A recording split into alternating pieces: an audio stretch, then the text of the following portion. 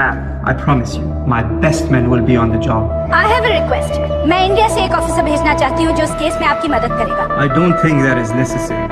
Don't worry about that उसके काम करने का तरीका सबसे अलग है He'll be there by lunch. तू कौन है merciless assassin. क्यों पसीना बहा रहे हैं टाइगर श्रॉफ सोशल मीडिया पर पोस्ट करने के लिए क्या फ़ीस लेते हैं टाइगर श्रॉफ फ़िल्म के लिए क्या मेहनत कर रहे हैं टाइगर हेलो दोस्तों, मेरा नाम है रोहित नारवारा और आपका स्वागत है बॉलीग्रैड स्टूडियोज की एक और नई वीडियो में। बॉलीवुड के one and only flying Jatt Tiger Shroff अपनी अपकमिंग फ़िल्मों को लेकर लगातार चर्चाओं में बने हुए हैं। इस साल उनकी दो बड़ी फ़िल्में रिलीज़ होने जा रही हैं। उनकी ये दोनों फ़िल्में भी उनकी हर फ़िल्म की तरह एक्शन से भरी हुई होंगी। टाइगर की इन दोनों फ़िल्मों में से पहले डायरेक्टर अहमद खान के निर्देशन में बन रही फ़िल्म, हीरोपंती इसी साल 29 अप्रैल को रिलीज़ होगी।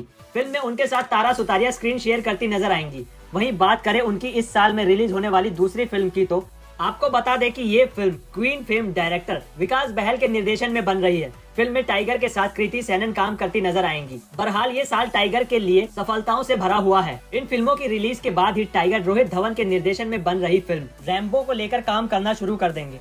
वैसे हमने आपको पहले वीडियो में बताया था कि टाइगर एक एडवर्टाइजमेंट करने के लिए दो से पाँच करोड़ रुपए की फ़ीस लेते हैं। लेकिन आपको पता है कि बाकी के सेलिब्रिटीज की तरह भी टाइगर अपने सोशल मीडिया अकाउंट पर किसी ब्रांड के लिए पोस्ट करने के लिए अच्छी खासी फ़ीस लेते हैं। टाइगर सोशल मीडिया पर किसी ब्रांड के लिए एक पोस्ट करने के लिए 20 से 30 लाख रुपए तक फ़ीस लेते हैं। उन्होंने जल्दी में ही Prowl, APL, Apollo water tank और अमेजोन प्राइम का वीडियो सोशल मीडिया एडवर्टाइजिंग करते हुए अपने इंस्टाग्राम से इन कंपनीज़ के लिए पोस्ट शेयर की थी।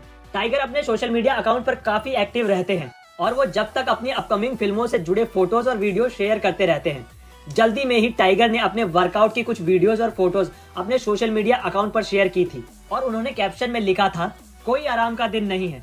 इस वीडियो में टाइगर जोरों शोरों से वर्कआउट करते पसीना बहा रहे थे। आपको बता दें कि टाइगर श्रॉफ जल्द ही रोहित जी की फ़िल्म रैम्बो में नज़र आने वाले हैं। उनकी ये फ़िल्म एक्शन से भरपूर फ़िल्म होगी।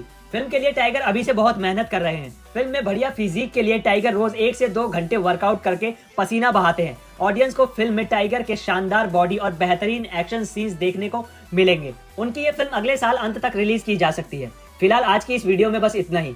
फिल्मी दुनिया की बाकी सभी अपडेट्स पाने के लिए जुड़े रहिए बॉलीग्रैड स्टूडियोज से। यहाँ हम देंगे आपको बॉलीवुड की फ़िल्मों की एक एक खबर। अगर आपको हमारे वीडियो पसंद आया हो तो जाते जाते कीजिए इस वीडियो को लाइक और कमेंट करके हमें ये बताइए कि आपको इस वीडियो में क्या अच्छा लगा। और हाँ अपने दोस्तों के साथ शेयर करना ना भूलें और सब्सक्राइब कीजिए बॉलीग्राइड स्टूडियोज को। धन्यवाद।